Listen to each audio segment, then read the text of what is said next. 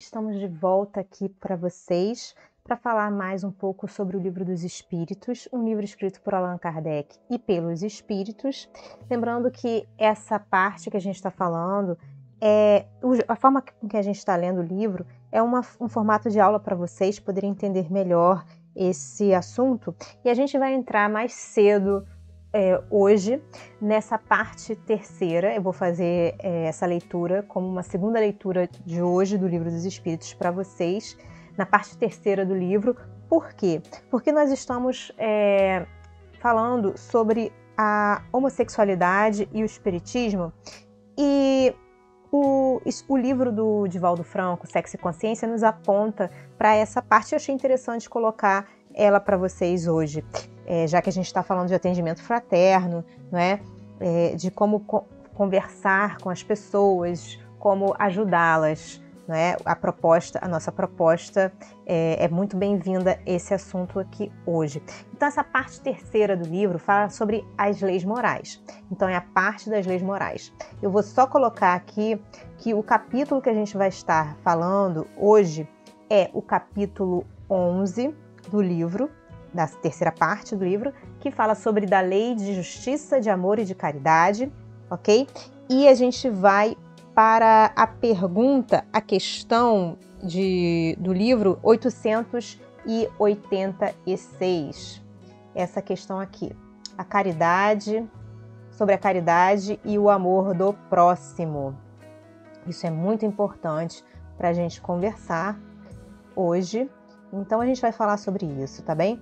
E aí Kardec, ele pergunta o seguinte: qual o verdadeiro sentido, o verdadeiro sentido da palavra caridade, como a entendia Jesus? E aí os espíritos respondem: benevolência para com todos, indulgência para as imperfeições dos outros, perdão das ofensas. Então nós temos que ser benevolentes, indulgentes, né, misericordiosos e saber perdoar, ok? Então, isso é ser realmente caridoso, ser benevolente, indulgente e saber perdoar, ok? Então, isso é para com algumas pessoas? Não, para com todas as pessoas. Todas.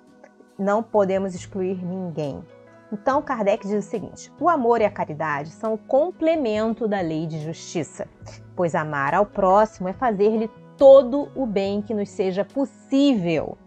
Amar ao próximo, lembrando, é fazer-lhe todo o bem que nos seja possível. O que não nos é possível, nós não fazemos, ok?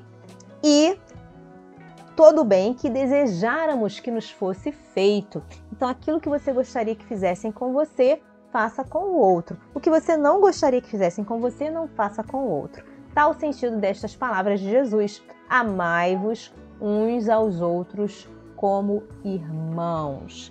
Então temos que amar ao outro como um irmão, ok? A caridade, segundo Jesus, não se restringe à esmola, o dinheirinho que a gente dá, a comidinha que a gente dá, as roupinhas que a gente dá, ok? Isso não é a caridade apenas, isso é muito pouco para o que é a caridade. A caridade abrange o que? Todas as relações em que nos achamos com os nossos semelhantes. Todas as relações. E esses semelhantes, sejam eles nossos inferiores, né, inferiores a nós, nossos iguais, iguais a nós, ou nossos superiores, que são superiores a nós. Então, essas relações, né, devem haver nessas relações a caridade, seja as pessoas, sejam as pessoas nossas inferiores, nossos iguais ou nossos superiores. A caridade nos prescreve a indulgência, a misericórdia. Por quê? De indulgência, de misericórdia, precisamos nós mesmos. E nos proíbe nos proíbe de fazer o que? A caridade, que humilhemos os desafortunados. Então, a humilhação não é algo de alguém que é, tem caridade no coração, ok? Então, ela nos proíbe que humilhemos os desafortunados, contrariamente ao que se costuma fazer. Nós costumamos é humilhar aqueles que são desafortunados, tá? Apresente-se uma pessoa rica todas as atenções e deferências lhe são dispensadas. Se for uma pessoa pobre, toda a gente como que entende que não precisa preocupar-se com ela. No entanto, quanto mais lastimosa seja a sua posição, tanto maior cuidado devemos pôr em lhe não aumentarmos o infortúnio pela humilhação. Não devemos humilhar ninguém.